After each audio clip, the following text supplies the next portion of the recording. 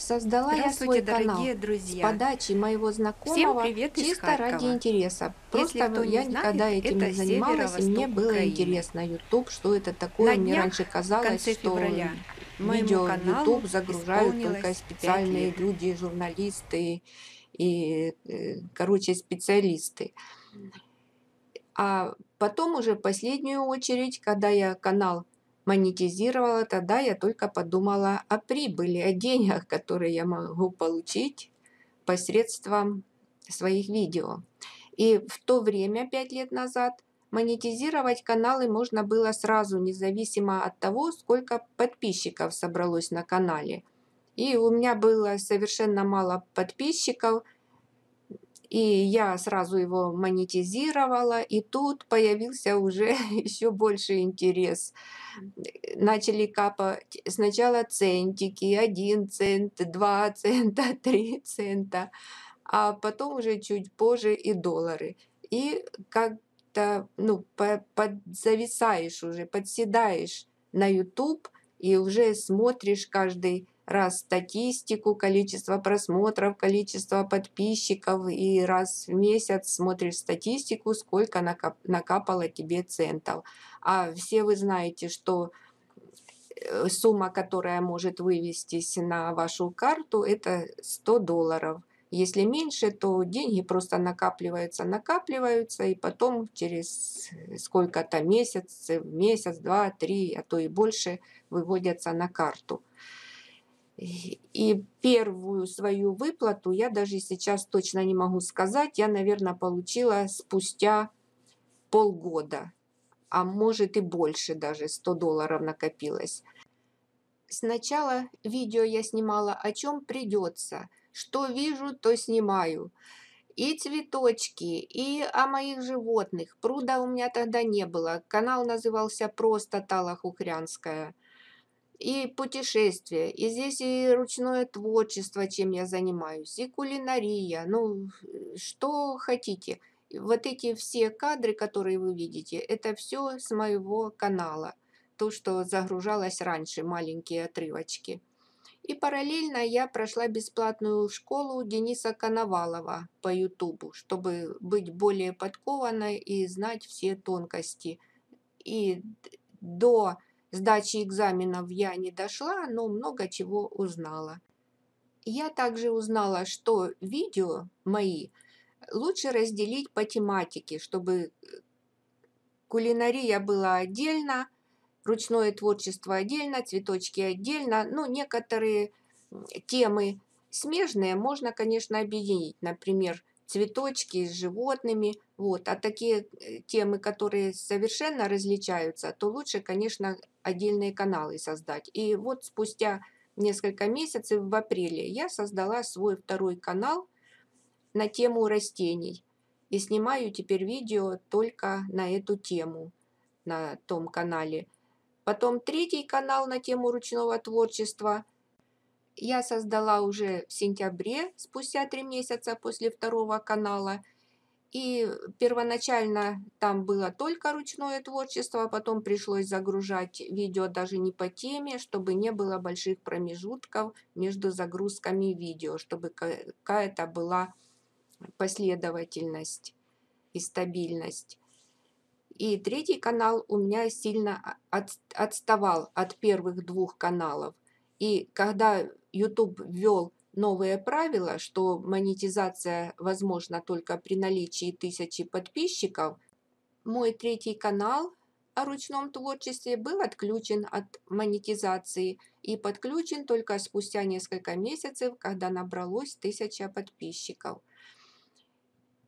И теперь у меня три действующих канала. Ну, а кулинарию я сделала еще четвертый канал, но я просто физически не в состоянии вести четыре канала, так как есть еще другие задачи. И остал, оставила только несколько видео по кулинарии на первом канале и на третьем канале. И я так подсела на этот YouTube, что я везде ходила со своим фотоаппаратом и на все вокруг смотрела глазами э, хищника, чтобы еще снять такого для канала. Ну, потом это все у меня прошло, сейчас я немножко уже остыла, уже не смотрю так, бы снять для ютуба, а смотрю уже вокруг другими глазами, так как подсела на живопись и смотрю вокруг краски, природу и все прочее, уже смотрю глазами художника на все это. Ну и, дорогие друзья, какой же у меня доход, спросите вы, спустя пять лет после начала моей деятельности в Ютубе? Ну, совсем маленький. Пер, первое время я вообще не считаю, а где-то посерединке, ну вот примерно два года назад или год назад даже, получалось примерно 30 долларов с каждого канала. То есть в месяц у меня не набегало с трех каналов даже 100 долларов. И получала я через месяц и через два даже выплату. А теперь вот за последнее время вообще заработки упали в три раза у всех, это не только у меня. Я вот смотрела канал того же Дениса Коновалова, и он имеет связь с сотрудниками YouTube, и поэтому он в курсе всех событий.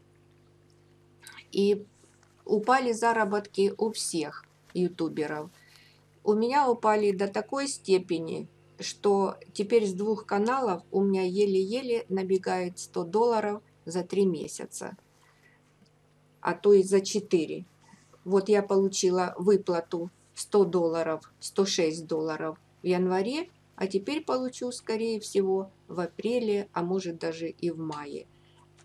И вот могу даже вам цифры назвать, но это не за месяц, а за 28 дней какая разница? Вот первый канал у меня 23 доллара, второй канал 10 с половиной долларов, третий канал ровно 10 долларов. Это за 28 месяц, э, за 28 дней. Ну, считай, что за месяц. Ну, вот такие дела. Но есть каналы более успешные. Люди даже не работают, им незачем работать. Они получают и сотни долларов, а то и тысячи долларов в месяц. Но это каналы востребованные, молодежные даже, потом информационные каналы и просто интересные каналы о путешествиях. И нужно человеку не просто что-то снимать. Вот, э, могут быть съемки хорошие, но подача плохая. Нужно грамотную речь иметь, приятный голос, хорошие съемки, чтобы были. И тогда канал будут смотреть. И в YouTube не, не имеет значения, сколько у тебя подписчиков. Самое главное – это количество просмотров. Потому что даже если много подписчиков, то это не факт, что каждый человек будет смотреть каждое ваше видео. Вот смотрите, у меня на первом канале 8 тысяч подписчиков, но с хвостиком. Я только называю первую цифру. На втором канале 11 900, на третьем канале 4000 с хвостиком. Это, в принципе, достаточно подписчиков, чтобы хотя бы что-то зарабатывать каждый месяц. Но у меня канал, вот понимаете, ну, он еще не дотягивает. Он не информативный канал, не информационный это не канал о путешествиях. И вообще я свою личную жизнь не выставляю очень сильно вот на показ. Ни родственников своих не снимаю, ни детей, ни внуков. И себя даже очень редко показываю, потому что мне это просто неудобно. Каждый раз надо готовиться, чтобы какой-то приличный вид иметь. А так, э, на спех можно много чего снять и просто потом озвучить. Ну, если хочешь интерес, поинтереснее видео сделать, то, конечно, желательно и себя показывать. И поэтому у меня и подписчиков немного, и доход небольшой. Ну и рассказчик я не очень хороший. Надо иметь очень хорошо подвешенный язык.